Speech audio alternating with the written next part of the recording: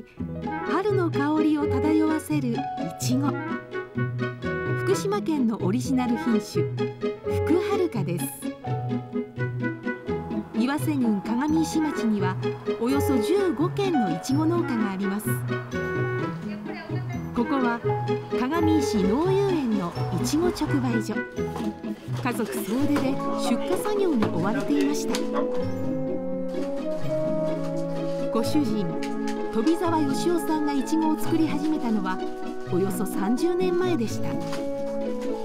現在は長男亮太さんも家を継ぎいちごの栽培を手伝っています。飛沢さんの農園が作っている福はるかの特徴は？福はるかはまあ一番の特徴はとても形が綺麗なこととあと香りが強く甘みもとても強いと思います。食べると美味しい福はるかですが実は病気に弱く決して育てやすい品種とは言えません。それでも飛沢さんの農園では福島ブランドにこだわって福はるかを作り続けてきました。そしていちごの免疫力を高めることで病気を予防することに成功したのです。いちご作りで一番こだわったことは一番のこだわりは土作りです。特にどんなことを気をつけてますか、まあ、できるだけ自然のものを使って健康な土を作ることにしています。食べていただく方の安全面も考えたり健康な土を使うことによってとてもいいいちごができるからです。以前は福はるかととちおとめの2種類を作っていた飛沢さん。しかし現在は親子揃って惚れ込んでいる福はるかだけを生産しています。福はるかという品種を、まあ、もっといろんな人に知ってもらいたいのと鏡石いちごは、えっと、生産者の方がまあ、美味しく作ろうとしたりとてもいい品質のものを作ろうとしているのでそれをいろんな人に知ってもらいたいっていう思いはあります。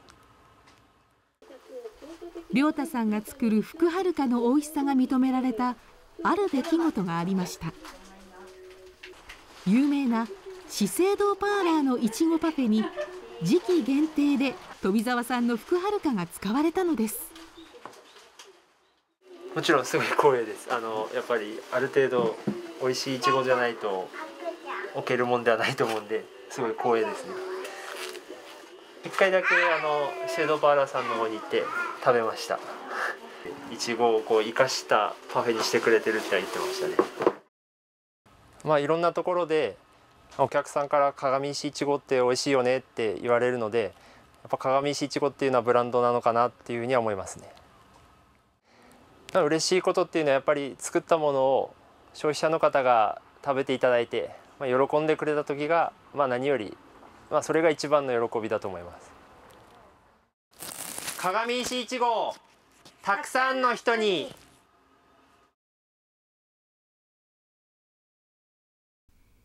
棚に並べられたブロックのようなものから生えている黒っぽい植物。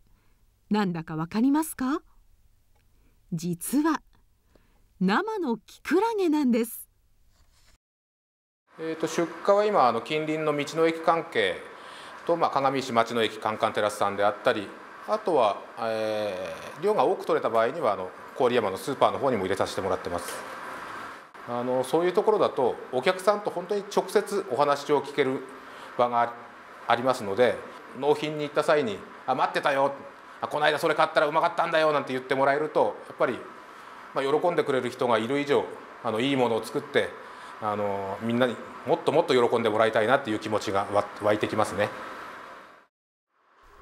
とはいえキクラゲを栽培しているのは農家ではありません鏡石町の佐久間産業株式会社という企業です。えーと、あのうちの方は主に自動車部品関係パッキンとかオイルシールとかそういう類のものを作っております。うちの会社グループ全体で200人ちょっとぐらいあの今社員がいるんですけどもあのこれから雇用延長であったりする場合にうちのあの製造業の現場ですと細かいものの選別とかっていうことがメインになります。そちらの方はどうしてもだんだん視力が弱くなってきたり見えにくくなってきたりということがあるのでそれ以外のところのあの雇用を延長した場合の受け皿となるような部門を作っておこうというのが理由です。会社の将来を見据えた異業種への参入。しかしなぜキクラゲだったのでしょう？まあ、この建屋なんですけどもこの建屋もともとうちの、まあ、資材置き場というかそういうものに使ってたんですけども会社の中整理しましてこの建屋を一つ開けることができました。その際に何かあの新規の事業を始めたいということが社長の方からいろいろありましてその中で社員に募って出たアイデアの一つがあのキクラゲということですこのキクラゲの成分であったりあとはほとんどがもう中国産だということがいろいろ分かってきたのでこれはもしかしたらあの国内で作った安全で安心な食材ということになればあのまだまだチャンスはあるんじゃないかということで、え1年目800金賞から始めて去年が、まあ3800で、まあ、これが今これが3月ぐらいまでやるやつなんですけど、まあ、こういう状態になってます。佐久間産業は積極的に地域のイベントなどにも参加し生きくらげと加工品を販売しています。安全で美味しいきくらげをたくさんの方に知ってもらうためです。生はやっぱり初めて見たとかどうやって食べるのなんていうことをよく言われます。あの直接お会いした方にはやっぱりその食べ方を説明してあの食べていただくというようなことに続けてます。これからキクラゲの可能性を広げていくあのシェアを広げていくっていう意味では皆さんにこう食べてもらってあの喜んでもらえるのが一番いいのかなと思ってます。まだキクラゲっていうのが皆さんの認知が低い食べ物だと思ってますのでのみんなに必要とされる食材っていうんですかねそういうものに広めていければなと思います。キクラゲでみんなを元気に。